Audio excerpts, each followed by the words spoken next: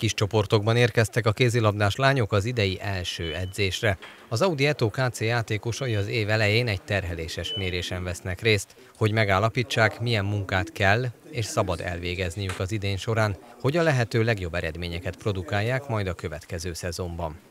Próbálunk képet kapni arról, hogy ezek a játékosok milyen állapotban vannak, honnan kell indulni, hogy lehet építkezni, hogy lehet úgy optimalizálni ezt a mostani teljesítményt, hogy az aztán majd később segítsen abban, hogy eredményesen tudjanak játszani ezek a játékosok. Tehát a keringé, keringési rendszer teljesítményét vizsgáltuk, vagy vizsgáljuk ma.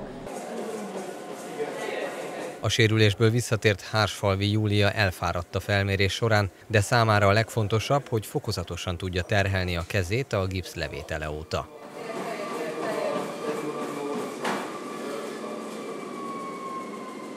Amikor levették a, a gipszemet, ez, ez volt május 31-én, én másnap már elmentem gyógytornászhoz, és együtt kezdtük el a munkát, persze csak fokozatosan, aztán ahogy én is belelendültem, nagyobb lett a mozgástartomány, így már mehettek a futások, akkor a izomépítés, aztán utána meg már keményebb labdás munka is.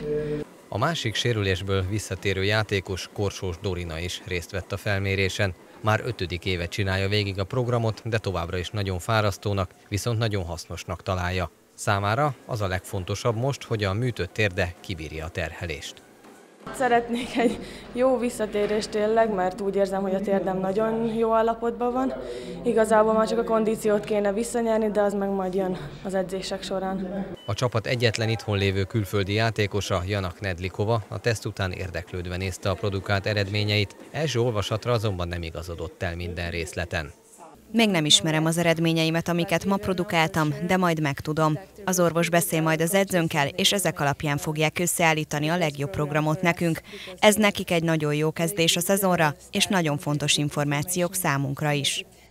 A sok hasznos információval felvértezve most már a szakmai stáb is pontosan fogja tudni, milyen intenzitással foghatnak neki az idei alapozásnak.